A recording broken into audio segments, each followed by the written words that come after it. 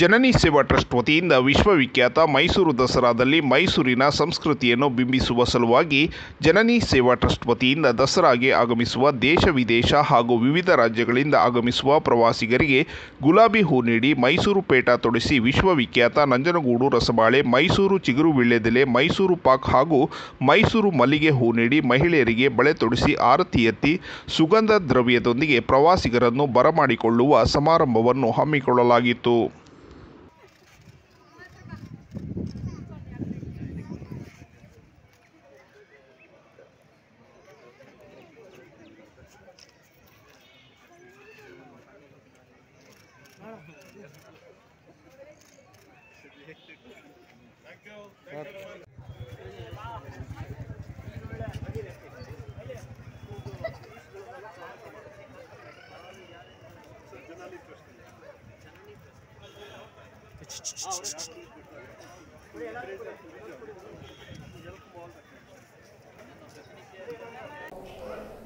ಎಲ್ಲರಿಗೂ ಕೂಡ ದಸರಾ ಹಬ್ಬದ ಹಾರ್ದಿಕ ಶುಭಾಶಯಗಳು.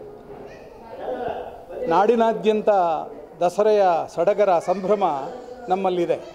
ಆದರೆ ಮೈಸೂರಿನಲ್ಲಿ ಇವತ್ತೇ ವಿದೇಶಿ ಪ್ರವಾಸಿಗರನ್ನು ಮತ್ತು ಬೇರೆ ಬೇರೆ ರಾಜ್ಯದ ಪ್ರವಾಸಿಗರನ್ನು ಸ್ವಾಗತಿಸುವಂತಹ ಒಂದು ಅರ್ಥಪೂರ್ಣವಾದ ಸಮಾರಂಭ ಇವತ್ತು ಇಲ್ಲಿ ನಡೆದಿದೆ. ಈ ಮೂಲಕವಾಗಿ ಮೈಸೂರನ್ನು ಸಂದರ್ಶಿಸುವಂತಹ ಪ್ರವಾಸಿಗರಿಗೆ ದಸರಾ ಹಬ್ಬದ ವಿಶೇಷತೆಗಳೇನು ಇಲ್ಲಿಯ ಸುತ್ತಮುತ್ತಲಿನ ಪ್ರದೇಶಗಳ ಐತಿಹಾಸಿಕ ಮಹತ್ವ ಏನು? ಇಲ್ಲಿಯ ವಿವಿಧ ಆಚರಣೆಗಳ ಹಿಂದೆ ಇರುವಂತಹ ಧಾರ್ಮಿಕ ನಂಬಿಕೆಗಳು ಯಾವುವು? ಈ ರೀತಿಯ ಒಂದು ಸಾಂಸ್ಕೃತಿಕ ಪರಿಚಯವನ್ನು ಉಂಟು ಮಾಡುವಂತಹ ಒಂದು ಅರ್ಥಪೂರ್ಣ ಕಾರ್ಯಕ್ರಮ. ಈ ಮೂಲಕವಾಗಿ ಸುಮ್ಮನೆ ದಸರಾ ಅಂದರೆ ಒಂಬತ್ತು ದಿನ ಕುಣಿದು ಕುಪ್ಪಳಿಸುವುದು ಮಾತ್ರ ಅಲ್ಲ. ಇಲ್ಲಿಯ ಒಂದೊಂದು ಹಬ್ಬವೂ, ಒಂದೊಂದು ದಿನದ ಆಚರಣೆಯೂ ಕೂಡ ಬಹಳ ವಿಶೇಷವಾದ ಅರ್ಥವನ್ನು ಒಳಗೊಂಡಿದೆ. ಎನ್ನುವುದನ್ನು ಹೇಳಬೇಕು ಎನ್ನುವುದು ಈ ಕಾರ್ಯಕ್ರಮದ ಹಿನ್ನೆಲೆ. ಜೊತೆಗೆ ಮೈಸೂರು ದಸರಾ ಉತ್ಸವದ ಹಿನ್ನೆಲೆಯಲ್ಲಿ ಅರಸು ಮನೆತನದವರು, ಒಡೆಯರವರು ಮೈಸೂರಿಗೆ ಮತ್ತು ಆ ಮೂಲಕವಾಗಿ ಇಡೀ ನಮ್ಮ ನಾಡಿಗೆ ಕೊಟ್ಟಂತಹ ಕೊಡುಗೆಯನ್ನು ಸ್ಮರಣೆ ಮಾಡುವಂತಹ ಒಂದು ಕರ್ತವ್ಯ ಕೂಡ ನಮ್ಮ ಮುಂದೆ ಇದೆ. ಯಾಕೆಂದರೆ ರಾಜರ್ಷಿ ನಾಲ್ವಡಿ ಕೃಷ್ಣರಾಜ ಒಡೆಯರವರು ಇತರ ಒಡೆಯರವರುಗಳು ಸರ್ ಎಂ ವಿಶ್ವೇಶ್ವರಯ್ಯನಂತಹ ದಿವಾನ್ರುಗಳು ಮೈಸೂರನ್ನು ಕೇಂದ್ರವಾಗಿಟ್ಟುಕೊಂಡು ಆರಂಭಿಸಿದಂತಹ ಒಂದು ನವ ಕರ್ನಾಟಕದ ಅಭ್ಯುತ್ಥಾನದ ಯುಗ ಇದೆಯಲ್ಲ, ಅದು ಇವತ್ತು ನಮಗೆ ಮಾರ್ಗದರ್ಶನ.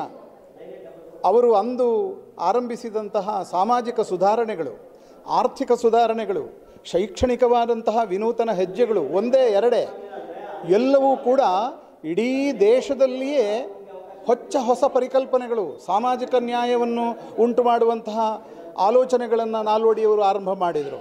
ವಿಧವಾ ವಿವಾಹದಂತಹ ಆಲೋಚನೆಗಳು, ಶೈಕ್ಷಣಿಕವಾದಂತಹ ದೃಷ್ಟಿಯಿಂದ ಜನರನ್ನು ಶಿಕ್ಷಣದ ಕಡೆಗೆ ಕರೆಯುವಂತಹ ಯೋಚನೆಗಳು. ಕೆ ಆರ್ ಎಸ್ ಅಣೆಕಟ್ಟಿನ ನಿರ್ಮಾಣ ಇರಬಹುದು, ವಿದ್ಯುತ್ ದೀಪಗಳ ಸೌಕರ್ಯ ಇರಬಹುದು, ರೈಲು ಮಾರ್ಗಗಳ ಸ್ಥಾಪನೆ ಇರಬಹುದು, ಒಂದೇ ಎರಡೇ. ಈ ಮೂಲಕವಾಗಿ ಇಡೀ ಕರ್ನಾಟಕ ಆಧುನಿಕವಾದಂತಹ ಪ್ರಗತಿಯ ಕಡೆಗೆ ದಾಪುಗಾಲು ಹಾಕುವ ಹಾಗೆ ಮಾಡಿದಂತಹ ಮಹಾನುಭಾವರು. ಇದು ಇತಿಹಾಸದ ಬಹಳ ಮುಖ್ಯ ಅಂಶ. ಇದನ್ನು ಮನಗಂಡಂತಹ ಮಹಾತ್ಮ ಗಾಂಧೀಜಿಯವರು ನಮ್ಮ ನಾಲ್ವಡಿಯವರನ್ನು ರಾಜರ್ಷಿ ಅಂತ ಕರೆದರು. ಸರ್ ಎಂ ವಿಶ್ವೇಶ್ವರಯ್ಯ ಅವರನ್ನು ರಾಮ ಮನೋಹರ್ ಲೋಹಿಯಾ ಅವರು ಭಾರತದ ಪ್ರಧಾನಮಂತ್ರಿಯಾಗುವ ಎಲ್ಲ ಅರ್ಹತೆಗಳನ್ನು ಪಡೆದಂತಹ ಮಹಾನ್ ದಾರ್ಶನಿಕ ಅಂತ ಕೊಂಡಾಡಿದರು. ಇದೆಲ್ಲ ನಮ್ಮ ರೋಮಾಂಚನವನ್ನು ಉಂಟು ಮಾಡುವಂತಹ ಮಾತುಗಳು. ಇತಿಹಾಸ